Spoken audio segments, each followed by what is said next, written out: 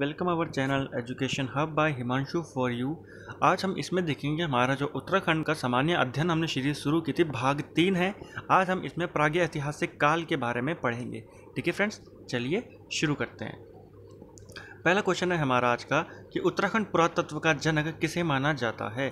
तो देखो देखो फ्रेंड्स उत्तराखंड पुरातत्व का जनक माना जाता है हैनवुड को। ठीक है? क्यों माना जाता है?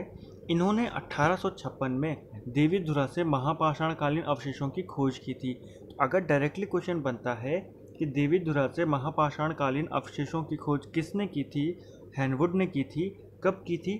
अठारह में की थी, ठीक है? इसीलिए इनको उत्तराखंड पुरातत्व का जनक माना जाता है। अगला प्रश्न है हमारा कि उन्नीस सौ में बहादराबाद में किसके नेतृत्व में खुदाई हुई थी? तो किसके नेतृत्व में हुई थी? यज्ञदत्त शर्मा। ठीक है फ्रेंड्स, बहादुराबाद आपका हरिद्वार की साइड पड़ता है, हरिद्वार में आता है, हरिद्वार जनपद में। तो किसने वहाँ खुदाई करवाई थी? यज्ञदत्त शर्मा ने कराई थी। अगला प्रश्न है, अल्मोड़ा के रामगंगा घाटी से पुरापाषाण कालीन उपकरणों की खोज किसने की थी? ठीक है, अल्मोड़ा में रामगंगा घाटी स्थित है, यहाँ के दो गाँव थे, एक था नौला गाँव ठीक है फ्रेंड्स और एक था जैनल गाँव ठीक है? जैनल गाँव और नौला ग्राम इन दोनों जगह से पुरा पाषाणकालीन उपकरणों की खोज, ठीक है, किसने की थी? यशोधर मठपाल ने की थी। ठीक है फ्रेंड्स? अगला प्रश्न है, देखिए, यशोधर मठपाल ने दो और चीज़ों की खोज की थी, एक था फड़का नौली शिलाश्रय, एक था पेटसाल शिलाश्रय। पेपर में पूछा जाता है आपसे कि फड़का नौली शिलाश्रय की खोज किसने करी या पेटसाल शिलाश्रय की खोज किसने करी? तो किसने करी? दोनों की खोज यशोधर मठपाल ने करी फड़का नौले की खोज उन्नीस में और पेट साल की उन्नीस सौ नवासी में 1989 में नब्बे में, ठीक है? और ये दोनों ही कहाँ स्थित हैं? अल्मोड़ा में ये स्थित हैं, ठीक है? अगला देखते हैं, लाखों गुफा की खोज किस वर्ष हुई थी? तो देखिए, लाखों गुफा जो है, ये अल्मोड़ा में स्थित है और इसकी खोज उन्नीस में हुई थी। एम पी जोशी ने इसकी खोज की थी। आपको खोज करता भी पूछ सकता है और वर्ष भी पूछ सकता है। तो 1963 में एम पी जोशी ने इसकी खोज की थी। अल्मोड़ा में लाखों गुफा या लाखों उडियार भी इसको कहते हैं तो ये वहाँ स्थित है। सुयाल नदी के तट पर स्थित है, ठीक है फ्रेंड? कई बार पूछता है, पेपर में भी, हाल ही में भी आया था ये, ग्रुप सी के पेपर में, कि लाखों गुफा किस नदी के तट पर है? तो सुयाल नदी के तट पर ये स्थित है, ठीक है फ्रेंड्स? और मानव आकृतियों को यहाँ पर नृत्य करते हुए दिखाया गया है। अगला प्रश्न है हमारा कि मानव को शिकार करते हुए किस स्थान के शैल चित्र में दिखाया गया है? तो देखिए लोथाप से शैल चित्र मिले हैं और वहाँ पर मानव को शिकार करते हुए दिखाया गया है। लोथाप कहाँ पड़ता है? ये अल्मोड़ा जनपद में आता है। अगला प्रश्न है क्वेश्चन नंबर छः। किस स्थान में मनुष्य को योग मुद्रा में दिखाया गया है? तो मनुष्य को योग करते हुए कहाँ दिखाया गया है? फल सीमा में। ठीक है, फल सीमा भी अल्मोड़ा में पड़ता है।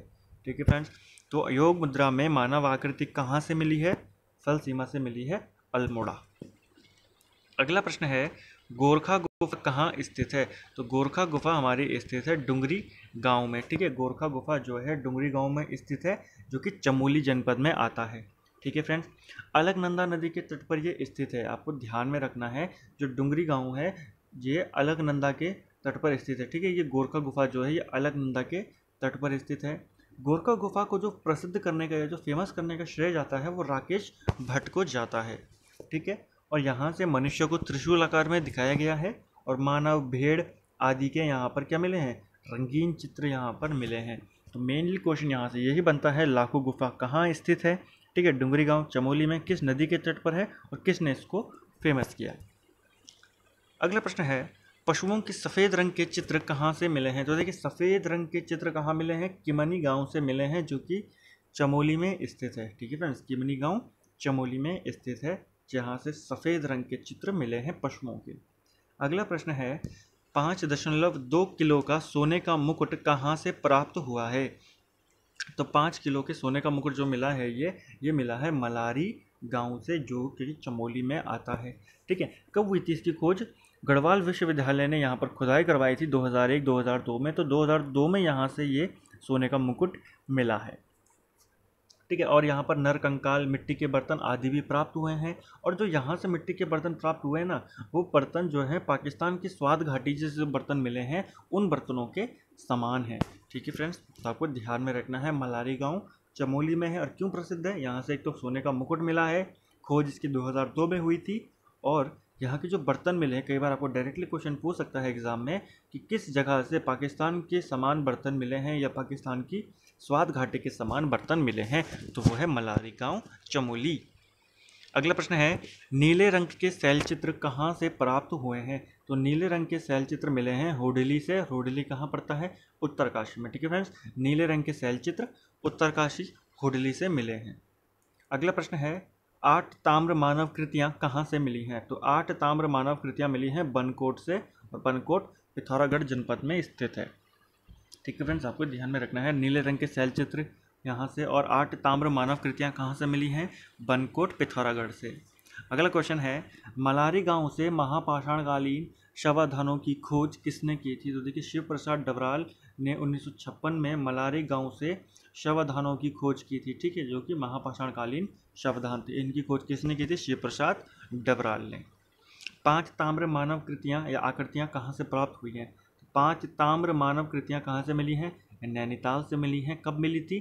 1999 में मिली थी, ठीक है फ्रेंड्स मेहरू उडियार कहाँ स्थित है? तो मेहरू उडियार स्थित है रामगंगा घाटी अल्मोड़ा में, ठीक है फ्रेंड्स तो देखिए, कुछ उडियार हो गए या गुफाएँ हो गई, ये सारी पूछी जाती हैं एग्ज़ाम में तो आपको ध्यान में रखना है। मेहरू, उडियार, रामगंगा घाटी, अल्मोड़ा में स्थित है।